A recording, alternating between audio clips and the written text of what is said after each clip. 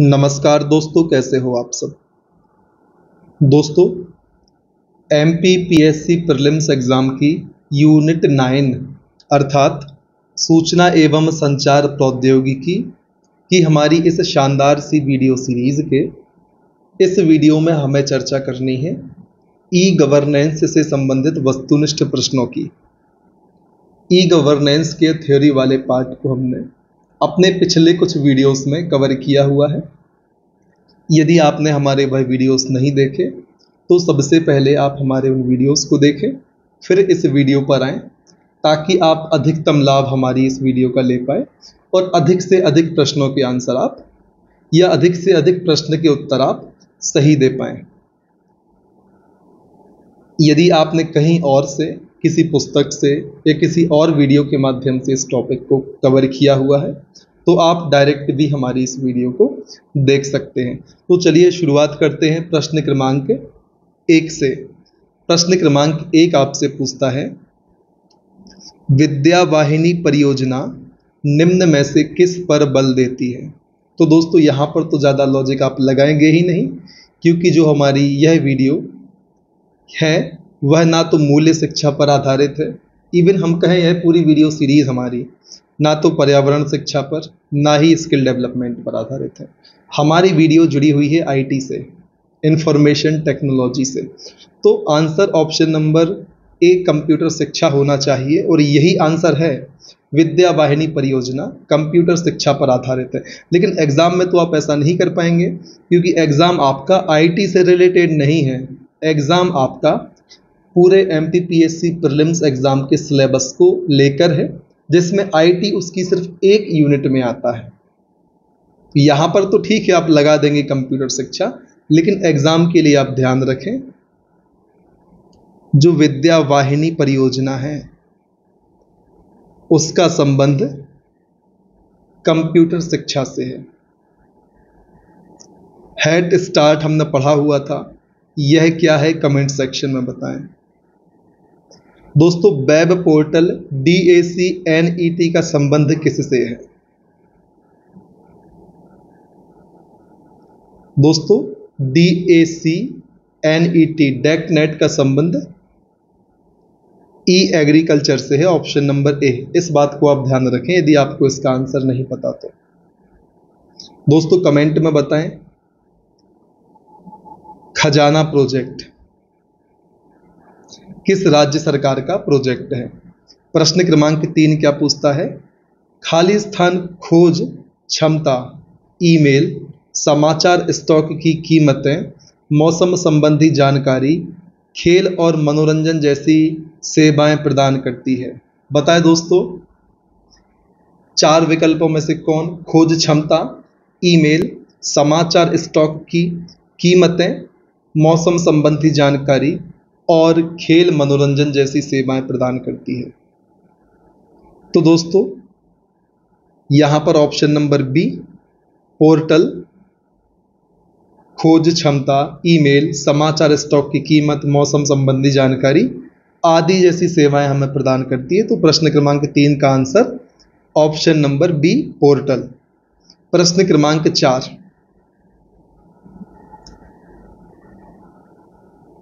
कौन सी e governance पहल मध्य प्रदेश की है? इसकी चर्चा हमने की हुई थी। दोस्तों, धार ज़िले की बात की थी। धार ज़िले में ज्ञान दूत प्रोजेक्ट, ऑप्शन नंबर डी ज्ञान दूत ई गवर्नेंस की ऐसी पहल है जो मध्य प्रदेश की है। कब शुरू हुई? वह सन आप हमें कमेंट सेक्शन में बताएँ। प्रश्न पाँच क्या पूछता है? सरकार को ई गवर्नेंस सहायता का आधार क्या है? तो दोस्तों option number A N I C government के लिए ई गवर्नेंस सहायता का आधार है। एन आई सी का फुल फॉर्म आप हमें बताएँ। इसकी स्थापना किस तिथि को हुई थी, यह भी बताएँ। फिर बारी आती है प्रश्न क्रमांक छः की। भारत में ई गवर्नेंस प्रोजेक्ट के लिए क्लाउड कंप्यूटिंग की पहल है। ई प्रमाणन, जी आई क्लाउड। दोस्तों, इसकी चर्चा भी की हुई थी तो ये दोनों भारत में ई गवर्नेंस प्रोजेक्ट के लिए क्लाउड कंप्यूटिंग की पहल है, ऑप्शन नंबर सी, प्रश्न क्रमांक छह का सही जवाब है। क्लाउड कंप्यूटिंग क्या है? यदि आप इसके बारे में जानकारी रखते हैं तो कमेंट सेक्शन में हमसे ज़रूर साझा करें। प्रश्न क्रमांक सात ई गवर्नेंस प्रोजेक्ट की राज्य सरकार के साथ जोड़ी जमाएँ कौन सा प्रोजेक्ट किस राज्य सरकार का है? तो दोस्तों, हम सभी जानते हैं, जो ज्ञानदूत है, वह मध्य प्रदेश सरकार का प्रोजेक्ट है। ऑप्शन नंबर कथन एक डी के साथ सुमेलित होता है। तो देख यदि हम ऑप्शन पर जाते हैं तो सारे ऑप्शन में ए के साथ डी सुमेलित है। हम आंसर तक नहीं पहुँच पाए।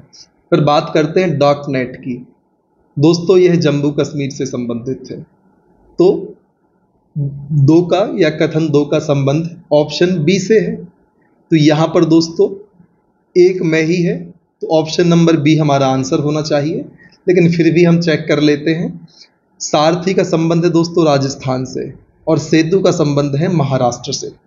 आपको ध्यान रखना है, जो ई गवर्नेंस प्रोजेक्ट है वह एमपी से रिलेटेड है डॉकनेट जम्मू एंड कश्मीर से रिलेटेड है सारथी राजस्थान से रिलेटेड है और सेतु महाराष्ट्र से रिलेटेड है। इसलिए ऑप्शन नंबर बी प्रश्न क्रमांक सात का सही जवाब है। ध्यान रखें, ज्ञानदूत मध्य प्रदेश का धार जिला यहाँ से शुरू हुआ था। डॉकनेट जम्मू एंड कश्मीर सारथी राजस्थान और सेतु महाराष्ट्र से संबंधित है। फिर बारी आती है प्रश्न क्रमांक आठ की, मध्य प्रदेश की ई गवर्नेंस योजना कौन सी है? तो दोस्तों, तीनों मध्य प्रदेश की ई गवर्नेंस योजनाएँ हैं। ऑप्शन नंबर डी प्रश्न क्रमांक आठ का सही जवाब है। इनकी चर्चा विस्तार से हमने की हुई है। फिर बारी आती है प्रिया सॉफ्ट की। प्रिया सॉफ्ट क्या है? दोस्तों, प्रिय कहाँ रहना लगता है? गाँव में रहना लगता है। मतलब गाँव से रिलेटेड चीज़ें होंगी। और दोस्तों, गाँव से रिलेटेड भी लेखा सॉफ्टवेयर है। पंचायतों का संबंध गाँव से है। ये दो तो ऑप्शन गए। ठीक? और फिर लेखा सॉफ्टवेयर है प्रिया सॉफ्ट। इसकी चर्चा वीडियो में भी हमने की थी और याद करने का प्रयत्न भी किया था। फिर दोस्तों, ये क्वेश्चन आ गया। एनआईसी राष्ट्रीय सूचना विज्ञान केंद्र की स्थापना कब हुई थी? ऑप्शन नंबर ए उन्नीस सौ छिहत्तर। इसका सही जवाब है। निकनेट की स्थापना कब हुई थी? इसका आंसर कमेंट सेक्शन में आप दें। फिर बारी आती है शगुन पोर्टल की। शगुन पोर्टल का संबंध किससे है? दोस्तों, वीडियो में बात की थी। शगुन में आपको शा याद रखना है। मतलब शाला। मतलब स्कूल कहाँ पर दिख रहा है? ऑप्शन ए सी और डी तो वैसे ही एलिमिनेट हो गया। ऑप्शन बी प्रश्न क्रमांक बारह का सही जवाब है। शगुन पोर्टल का संबंध है स्कूल को आपस में जोड़ने से। दोस्तों बार बार मैं आपसे कह रहा हूँ, यदि पिछले वीडियो आपने नहीं देखे तो आप उनको ज़रूर देखें। बहुत सारी ट्रिक्स के माध्यम से निमोनिक्स के माध्यम से हमने काफ़ी सारी चीज़ों को याद करने का प्रयत्न किया है, ताकि आप किसी भी प्रकार से कंफ्यूज ना हो। एटलीस्ट आप अपने एग्ज़ाम में सही आंसर को टिक कर दें। इतना प्रयास हमने किया है।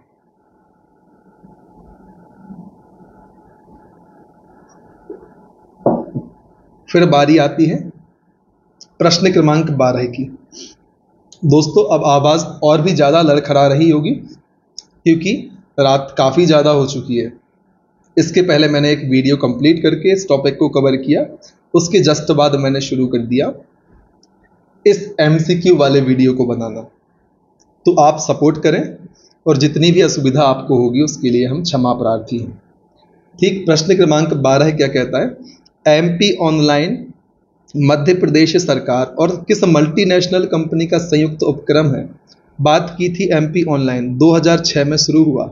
ठीक, मध्य प्रदेश सरकार और टीसीएस का संयुक्त उपक्रम है। टीसीएस का फुल फॉर्म आप हमें कमेंट सेक्शन में बताएँगे।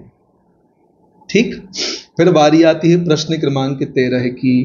क्या कहता है दोस्तों ई गवर्नेंस के स्तंभ में क्या शामिल है इनमें से?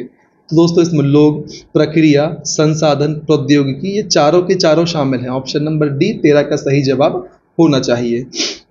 प्रश्न क्रमांक चौदह स्कॉच चैलेंजर पुरस्कार 2021 किसे प्रदान किया गया? स्कॉच चैलेंजर पुरस्कार 2021 पंचायती राज्य मंत्रालय को प्रदान किया गया। फिर बात की जा रही है या आपसे पूछा जा रहा है दीक्षा का फुल फॉर्म जिसकी चर्चा हमने की हुई थी जो क्या था? Digital infrastructure for knowledge for D for digital, I for infrastructure, for K for knowledge, SHA for sharing. ठीक? फिर बारी आती है प्रश्न क्रमांक 16 की। तरंग पोर्टल किससे संबंधित है? तरंग की हमने बात की थी। तरंग इस प्रकार से चलती हैं और इसी प्रकार से दोस्तों विद्युत का ट्रांसमिशन होता है। अब आप कनेक्ट कर जाएँगे। ऑप्शन ए बी आप वैसे ही एलिमिनेट कर देंगे। अब ट्रांसमिशन की बात आई तो डी भी आप एलिमिनेट कर देंगे। इसलिए ऑप्शन नंबर सी विद्युत मंत्रालय। का ट्रांसमिशन पर निगरानी हेतु तो तरंग पोर्टल बनाया गया। ऑप्शन नंबर सी प्रश्न क्रमांक 16 का सही जवाब है। दोस्तों बार बार कह रहा हूँ, जो निमोनिक्स हमने बनाए थे, उनके मदद से आप आसानी से सारे ऑप्शन एलिमिनेट करते जाएँगे। तो पिछले वीडियो ज़रूर देख लें, नहीं तो आपका नुकसान हो सकता है। नुकसान तो नहीं होगा दोस्तों, लेकिन आप इस प्रकार से चीज़ों को समझने से वंचित रह सकते हैं। ठीक, स्वान की स्थापना कब हुई थी? फुल फॉर्म कमेंट सेक्शन में चाहिए है। और स्वान की स्थापना कब हुई थी? दोस्तों, आप हमें बताएँ। बात हमने की थी कब? मार्च 2005 की, कि मार्च 2005 में स्वान की स्थापना हुई। उन्नीस सौ अठासी तो बहुत दूर का ऑप्शन है, वैसे ही आप हटा देंगे। यहाँ आप कंफ्यूज हो सकते थे, लेकिन ये भी आंसर नहीं है। आंसर है March 2005 S W A N की स्थापना। फिर बारी आती है प्रश्न क्रमांक 18 की। मध्य प्रदेश में ज्ञान दूत योजना किस ज़िले से प्रारंभ की गई। धार जिला ऑप्शन नंबर डी, प्रश्न क्रमांक 18 का एकदम करेक्ट आंसर है। प्रश्न 19 एमपी ऑनलाइन पोर्टल की स्थापना। अभी मैंने आपसे चिल्ला चिल्ला के तो नहीं बोला, आराम से ही बोला कि जुलाई 2006 जुलाई भी नहीं बोला था मैंने, सिर्फ़ 2006 कहा था। तो जुलाई 2006 एमपी ऑनलाइन की स्थापना हुई थी, याद रखें। जुलाई 2006 ऑप्शन नंबर बी, प्रश्न क्रमांक 19 का सही जवाब है। टीसीएस प्लस एमपी गवर्नमेंट का संयुक्त उपक्रम है क्या? एमपी ऑनलाइन इतना आपको ध्यान रख लेना है। फिर दोस्तों, मध्य प्रदेश पंचायत एवं ग्रामीण विभाग द्वारा मनरेगा के सभी कर्मचारियों या सभी लाभार्थियों को ऑनलाइन भुगतान करने हेतु कौन सा प्रोग्राम लॉन्च किया गया? ध्यान रखें, पंचायती राज एवं ग्रामीण विकास द्वारा मध्य प्रदेश के अंदर। क्यों? मनरेगा के सभी लाभार्थियों को ऑनलाइन भुगतान करने के लिए कौन सा प्रोग्राम लॉन्च किया गया? तो मनरेगा सॉफ्ट या नरेगा सॉफ्ट लॉन्च किया गया। ऑप्शन नंबर सी प्रश्न बीस का सही जवाब है। फिर बारी आती है। प्रश्न क्रमांक 21 की 25वां राष्ट्रीय ई गवर्नेंस सम्मेलन 2022 में कहाँ आयोजित किया गया? बताएँ 25वां राष्ट्रीय ई गवर्नेंस सम्मेलन 2022 में कहाँ आयोजित किया गया? कटरा जम्मू एंड कश्मीर में आयोजित किया गया। ऑप्शन नंबर सी, प्रश्न इक्कीस का एकदम सटीक जवाब है। प्रश्न 22 ई गवर्नेंस योजना के चरण बताएँ दोस्तों। कौन कौन से शामिल हैं जो तीन कथन दिए हुए हैं? ई गवर्नेंस की योजना के चरण में। तो दोस्तों, इसमें कंप्यूटरीकरण नेटवर्किंग ऑनलाइन उपस्थिति, सब कुछ तो शामिल है। बड़ा कॉमन सेंस वाला प्रश्न है और कॉमन सेंस से आप ऑप्शन नंबर डी उपरोक्त सभी आंसर कर सकते हैं। कंप्यूटरीकरण करना होगा ई गवर्नेंस के लिए। नेटवर्किंग या नेटवर्क का जाल बिछाना होगा। ऑनलाइन उपस्थिति दर्ज करनी होगी, तभी तो आप ई गवर्नेंस योजना को इम्प्लीमेंट कर पाओगे। एक भी चीज़ कम करोगे, नहीं हो पाएगी। नेटवर्क हटा लोगे कंप्यूटर जमा के क्या कर लोगे? नेटवर्क ले लिया कंप्यूटर जमा कर लिया ऑनलाइन ही नहीं आई चीज़ें। कैसे काम चलेगा? ये तीनों चीज़ों की आवश्यकता पड़ेगी। इस प्रकार से आप कॉमन सेंस लगा के प्रश्न बाईस का आंसर भी कर सकते थे। फिर बारी आती है प्रश्न क्रमांक तेईस की। प्रगति का पूरा नाम दोस्तों। चिल्ला चिल्ला के मैं आपसे कब से बोल रहा हूँ? ये सीरीज़ तो छोड़ दो कंप्यूटर की सीरीज़ से मैं आपसे कह रहा हूँ दोस्तों। फुल फॉर्म से प्रश्न आते हैं। यदि आप अब भी नहीं समझे तो फिर समस्या वाली बात है। प्रगति का फुल फॉर्म पूछा है प्रश्न क्रमांक तेईस में। हमने बात करी थी proactive governance and timely implementation proactive governance and timely implementation option number B Pragati का फुल फॉर्म है और प्रश्न क्रमांक तेईस का सही जवाब है। प्रश्न चौबीस क्या कहता है? प्रश्न चौबीस पूछता है ई गवर्नेंस संबंधी चुनौतियाँ बताओ भाई डाटा लीक होना कॉमन सेंस वाला है साइबर क्राइम बिल्कुल हो सकता है। शैक्षणिक पिछड़ापन, कोई ज़्यादा दिमाग नहीं लगाना ऑप्शन नंबर डी चौबीस का सही आंसर हो जाना है। प्रश्न क्रमांक पच्चीस हाँ यहाँ याद रखने वाली चीज़ है। गार्टनर के अनुसार चार चरण परिपक्वता मॉडल को किस क्रम में व्यवस्थित कर सकते हैं? एम पी बीस में पूछा था। ठीक? और मुश्किल से बीस लोग इसको सही कर पाए होंगे टोटल फॉर्म भरने में, ठीक है, जितनों ने पेपर दिया हुआ मज़ाक है, ऐसा नहीं है, काफ़ी लोगों ने सही किया होगा, लेकिन एक डिफ़िकल्ट क्वेश्चन माना जा रहा था, ठीक? प्रश्न क्रमांक 25 में क्या पूछा जा रहा है? गार्टनर के अनुसार चार चरण परिपक्वता मॉडल को क्रम में व्यवस्थित करना है। किस क्रम में हमने इसको देखा था? इसकी चर्चा हम पहले कर चुके हैं। हमने देखा था पहले सूचना, फिर सहभागिता, फिर लेन देन और फिर परिवर्तन। ऑप्शन नंबर डी प्रश्न क्रमांक 25 का सही जवाब है। प्रश्न क्रमांक छह विश्व बैंक के अनुसार तीन चरण परिपक्वता मॉडल को क्रम में व्यवस्थित करिए। इसको भी हमने देखा था। पहले प्रसारण करेंगे, फिर मेलजोल, फिर लेन देन प्रसारण से जानकारी मिलेगी, फिर हम मिला जुला कर देखेंगे ऑप्शंस को, फिर लेन देन करेंगे। इस प्रकार से हमने तरीके के माध्यम से याद किया था। तो ऑप्शन नंबर ए प्रश्न 26 का सही जवाब बैठता है। प्रश्न 27 डिजिटल इंडिया कार्यक्रम की शुरुआत कब हुई? तो डिजिटल इंडिया कार्यक्रम की शुरुआत हुई एक जुलाई 2015 को। दोस्तों, अब मुझे सर्दी लग गई है। वीडियो बनाते बनाते काफ़ी देर हो चुकी है। ऑप्शन नंबर बी ध्यान रखें डिजिटल इंडिया मिशन की शुरुआत एक जुलाई 2015 को ही इसको आपको ध्यान रखना है, बहुत महत्वपूर्ण कार्यक्रम है और ये डेट भी काफ़ी महत्वपूर्ण है। एक जुलाई 2015 डिजिटल इंडिया मिशन की शुरुआत। ठीक? ध्यान रखें। फिर प्रश्न क्रमांक 28 पर हम आते हैं। प्रश्न 28 क्या बोलता है? सर्वप्रथम ई गवर्नेंस की शुरुआत उन्नीस सौ उनहत्तर में कहा हुई थी? आपको बताना है। तो हम सभी जानते हैं यूएसए में हुई थी। यूएसए का कौन सा विभाग? कमेंट सेक्शन में बता दें। फिर प्रश्न 29 क्या कहता है? National institute for smart government कहाँ स्थित है? National institute for smart government, कहाँ स्थित है? हैदराबाद में स्थित है। इसको ध्यान रख लें। हैदराबाद की आपको ध्यान रखनी है एक इंस्टीट्यूट, नाम है national institute for smart government, प्रश्न क्रमांक तीस। National institute for smart government कब बना? अब सन पूछ लिया आपसे तो यह बना था सन 2002 में। National institute for smart government, Hyderabad में सन 2002 में बना। प्रश्न क्रमांक 31 भारत में ई गवर्नेंस योजना कब शुरू हुई? बड़ा आसान सा प्रश्न है, क्योंकि हमने इसको पढ़ा था वर्ष 2006 में शुरू हुई ठीक ई गवर्नेंस योजना भारत में वर्ष 2006 बत्तीस ई गवर्नेंस सर्विस में क्या शामिल है? पेपरलेस केस कैशलेस फेसलेस बड़ा कॉमन सेंस वाला आंसर ऑप्शन नंबर डी इतना पढ़ने के बाद यदि आप इस प्रश्न को सही नहीं कर पा रहे तो फिर चिंताजनक स्थिति है। आपको अपने ऊपर ज़्यादा काम करने की आवश्यकता है, बहुत मेहनत करने की आवश्यकता है। कॉमन सेंस वाले प्रश्न में गलती और ज़्यादा दिमाग जहाँ ना लगना हो सीधा सीधा सा आंसर हो, वहाँ पर ज़्यादा दिमाग नहीं लगता, वो आपको सही करने होंगे। नहीं तो एग्ज़ाम में समस्या का सामना करना पड़ सकता है। प्रश्न क्रमांक तैतीस जीएसटी का पंजीकरण भाई किसका उदाहरण है? ये भी नॉर्मल सा प्रश्न है। जीएसटी का पंजीकरण कौन कराएगा? जिसको बिज़नेस करना होगा तो एक तो बिजनेसमैन होना चाहिए और दूसरे गवर्नमेंट करती है तो जी टू भी हो गया ऑप्शन नंबर सी ज़्यादा दिमाग नहीं लगाना। फिर बारी आती है सूचना का अधिकार। बताओ भाई, सूचना कौन लेगा? बिजनेसमैन तो लेगा नहीं। एक नागरिक सूचना लेता है, ठीक? सूचना का अधिकार कौन यूज़ करता? नागरिक यूज़ करते हैं गवर्नमेंट तो सिटीजन हो जाएगा ऑप्शन नंबर बी इन सब की चर्चा हमने की हुई है। आपको ऐसा नहीं लगना चाहिए कहाँ से क्वेश्चन फेंक दिए। बड़े आसान से प्रश्न है। घर बैठे बिजली बिल का भुगतान खाली स्थान के अंतर्गत आता है। बिजली बिल कौन भुगतान करेगा? एक नागरिक भुगतान करेगा जो सेवाओं का उपयोग कर रहा है। तो गवर्नमेंट टू सिटीजन हो गया। ठीक? फिर बारी आती है प्रश्न क्रमांक छत्तीस। दो तो यहाँ पर कहने का मतलब है, फिर मान लो किसी का कोई ऑफ़िस है, वो ऑफ़िस के लिए बिजली बिल भुगतान करेगा तो वो भी एज अ एक इंडिविजुअल या एक सिटीजन के रूप में करेगा तो वो जी टू सी के अंतर्गत आएगा। यदि बिज़नेस से रिलेटेड कोई चीज़ें गवर्नमेंट से करानी है तो जी टू वी के अंतर्गत आएगा वो। गवर्नमेंट की सेवाओं के रूप में यदि हम कर रहे हैं तो जी टू सी इसको आप ध्यान रखें, एक नागरिक के रूप में, ठीक?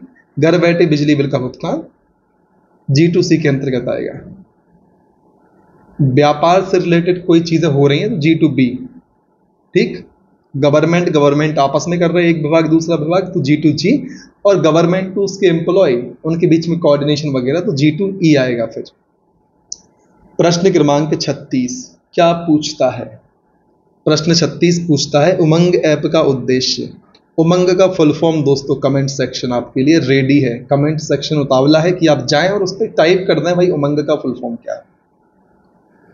तो उमंग का फुल फॉर्म आप हमें बताएँ और प्रश्न पूछता है उद्देश्य तो उद्देश्य हम जानते हैं सरकारी सेवाओं को नागरिकों तक पहुंचाना इसका उद्देश्य है। आरंभ ऐप का उद्देश्य क्या है दोस्तों?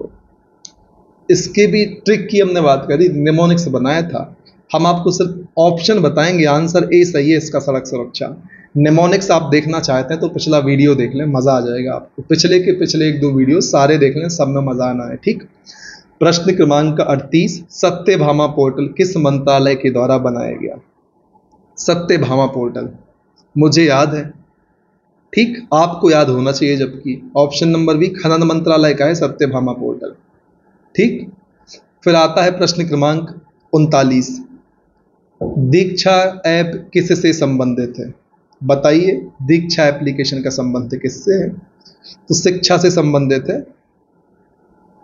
ठीक नॉलेज शेयर करना है। इसका भी फुल फॉर्म बताएँ कमेंट सेक्शन में। कुछ देर पहले चर्चा की थी।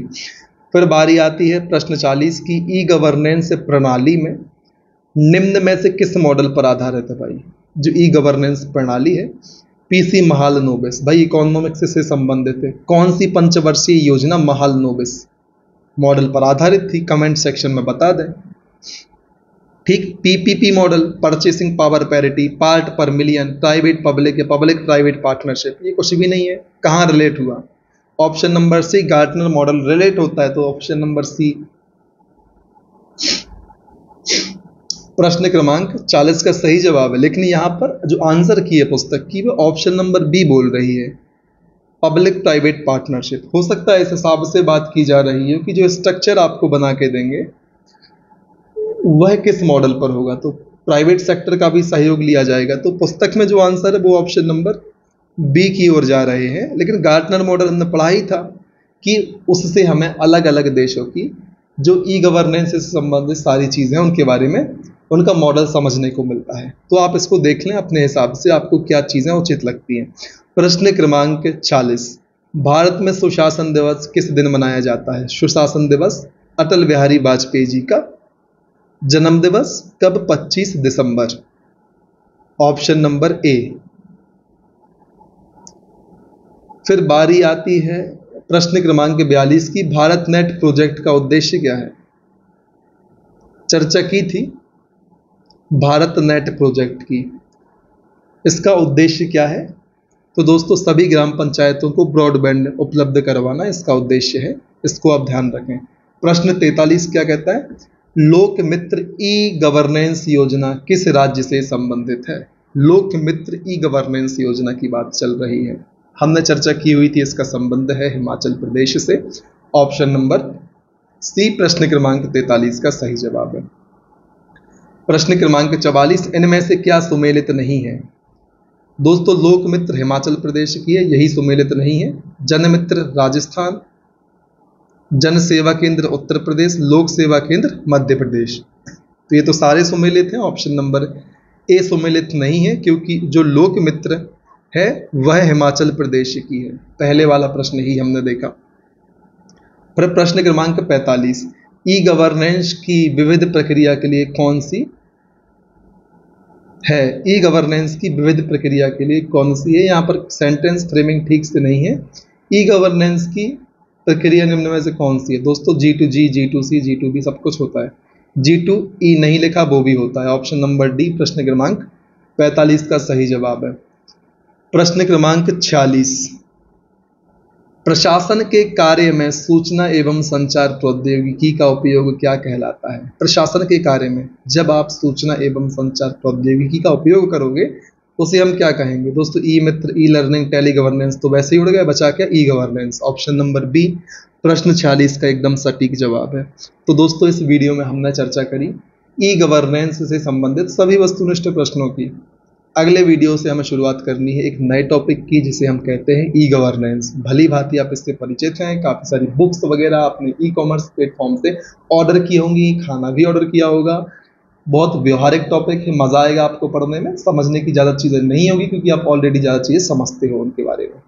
ई गवर्नेंस के बारे में आप ऑलरेडी बहुत कुछ जानते हो। प्रैक्टिकल व्यवहारिक अनुभव भी ज़्यादा है आपका, क्योंकि बहुत सारी चीज़ें आजकल इसी के माध्यम से हो रही हैं।